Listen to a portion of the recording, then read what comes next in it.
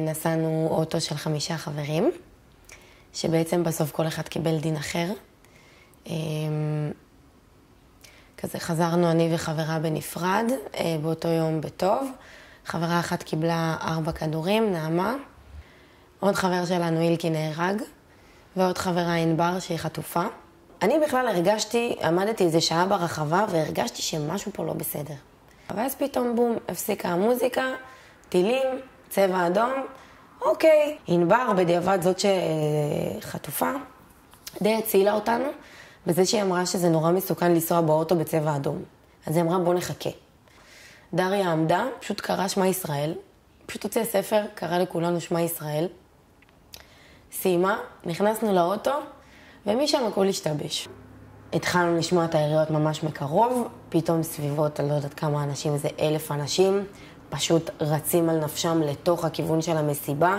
אני בראש הזה בידיעה של הכל טוב עדן, את יודעת מה זה פיגוע? סומכת על מה שאני יודעת, הייתי גם אגבניקית, כאילו אני... לא יודעת, יודעת, כן. היה צריך למצוא את החוסן הנפשי הזה, לקום ולהקים את עצמך, כי אף אחד לא יכול להיות אחראי על החיים שלך פה. אף אחד.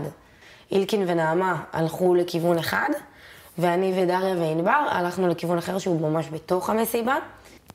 אנחנו מרימות את הבת של הבמה, יש 50 אנשים למטה עושים לנו ש... ואני שוכבת על הרצפה ואני כבר ככה, כאילו אני מוכנה לרוץ. ושם באמת עלתה לי המחשבה של כאילו או שאני מתה ראשונה, או שאני בורחת ראשונה. התחילו לעלות המחשבות של איך תראה השבעה שלי, ומי יבוא, ומה יגידו, ולא, לא, לא, לא, לא. לא יכול להיות. עדן, לא נגמר, לא נגמר, לא נגמר. רגע, אבל מה, אבל אם נגמר, ואני לא רוצה לקרום צער להורים שלי, אבל לא יכול להיות. כאילו, אין אני אומרת לחקוב, אני פשוט רבה עם עצמי בראש, של יש לי את החלק הזה ויש לי את החלק הזה, והוא יותר חזק. אין, אין לי מה להגיד. לא נגמר. הרמתי את הבד, פשוט התחלתי לרוץ. לא עובר כמה שניות, אני שמעתי יריות של החיים, בדיעבד מי שלא אצלי, לא הספיק לצאת מהבמה, פשוט מת שם. אמ, שם זה היה הסיטואציה שהבנתי שאני צריכה לבחור בי, ובעצם לוותר על חברות שלי, מי שנשארה בכל אופן. אה, זה לא לוותר עליהם כמו לבחור בי, שאני יודעת שרק אני עכשיו יכולה להציל את עצמי, ואם מישהו צריך לשרוד זה יהיה בדרך שלו. פתאום ראינו את הטנדרים של המחבלים, מלא רכבים שם, מתחילים לראות עלינו, פשוט עצרנו את האוטו, הסתובב לצד שני. לפני שהגענו לטנדרים, פתאום אנחנו רואים טנק באמצע שדה פתוח, 20 אנשים, 3-4 שוטרים, איזה שתי חיילים כביכול, צורכים עלינו, בואו לפה עכשיו, כאילו, מה אתם עושים שם? היה שם נורא מסובך, כי גם היינו חשופים מכל הכיוונים, גם לא היה הרבה נשקים לנו, ותוך כדי הכל זורקים עלינו רימונים ויריות וטילי RPG. רוב האנשים שהיו שם זה כבר הגיעו בודדים, כאילו אחד מכל אחד, אז כאילו כולם לבד אז כולם ביחד. לאט לאט נגמרה התחמושת ולאט לאט הבנו שאנחנו בבעיה. התקשרנו למשטרה, התקשרנו לצבא, תפללו, אין לנו איך לעזור לכם.